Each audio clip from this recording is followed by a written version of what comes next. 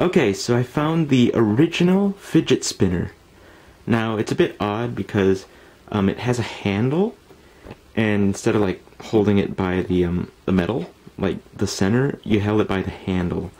So, um, here we go.